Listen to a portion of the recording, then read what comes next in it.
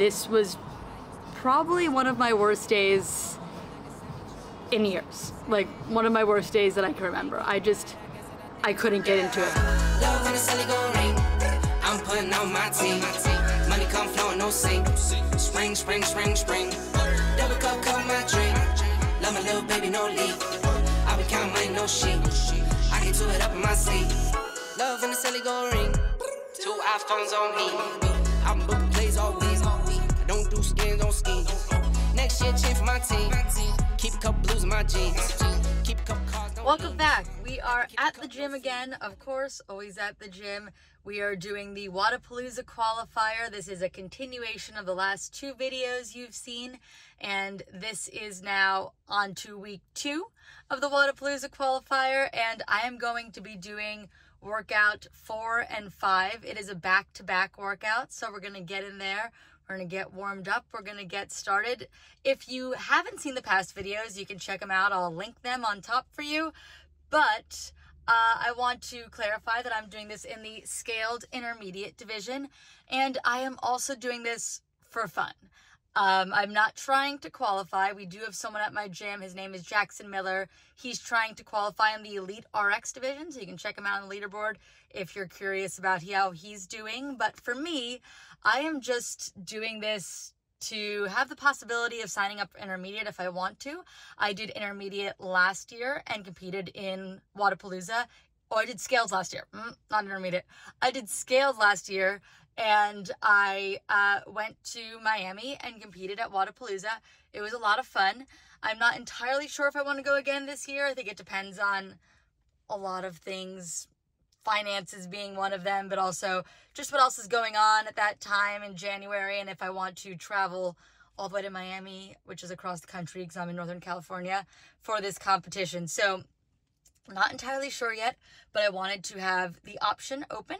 So, I need to do the qualifier because everybody, regardless of whether you're signing up or you're qualifying, needs to do the qualifier. So, we're going to do the last two workouts. This will be the first of the last two, and I'll do another video with the final workout. So we're going to head inside and get started on the first or the two two back-to-back workouts that are workouts four and five.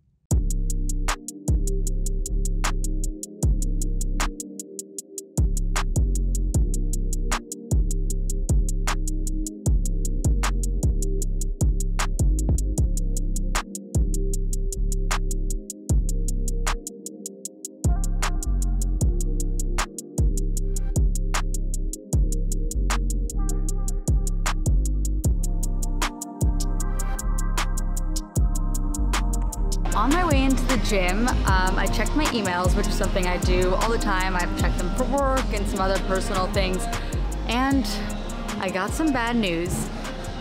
And getting bad news right before you need to do a qualifier workout or just workout in general sometimes isn't the best, especially if you're working out like I am today and you're doing it completely alone you just it, it just sort of allows you to stay in your head and think about the bad news and maybe feel like you can't put your best foot forward on the qualifier workout that you're doing or even just your regular workout that you're doing.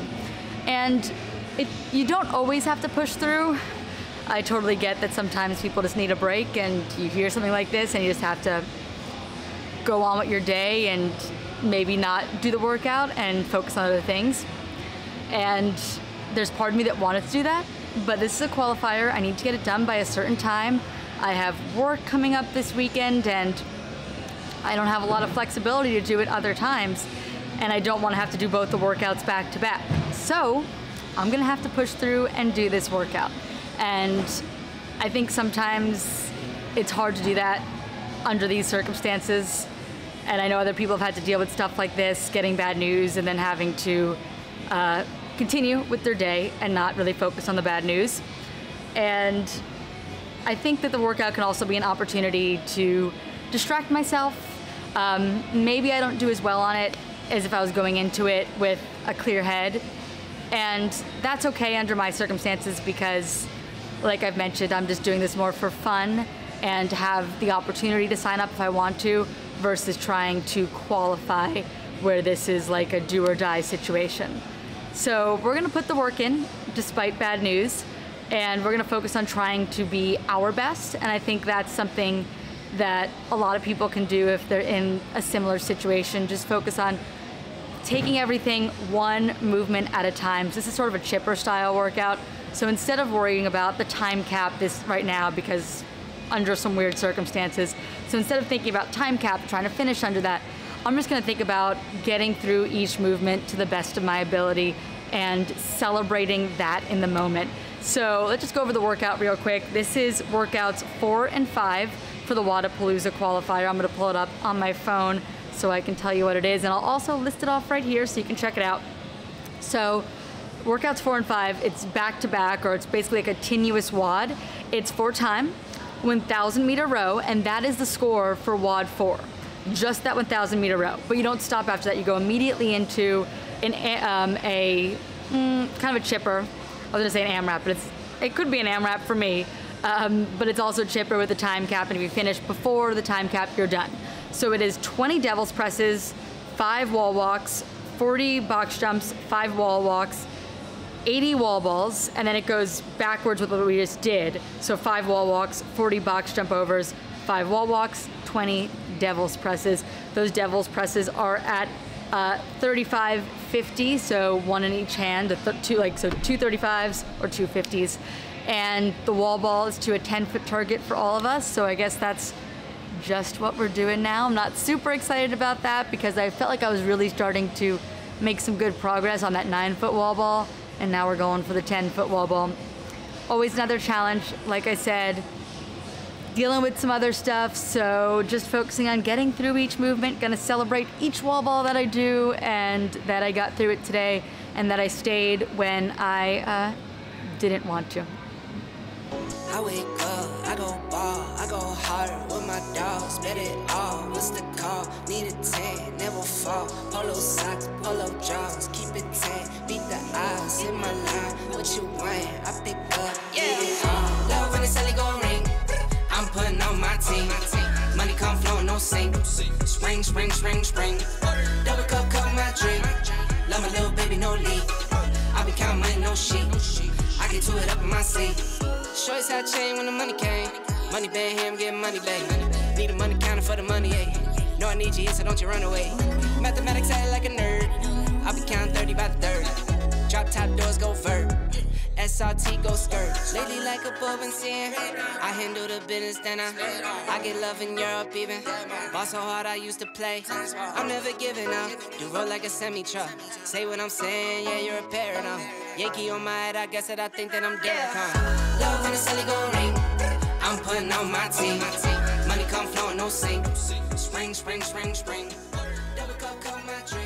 I brought the camera outside because it was loud inside and I just needed some air. So that workout did not go well. I was just not in the right headspace for it.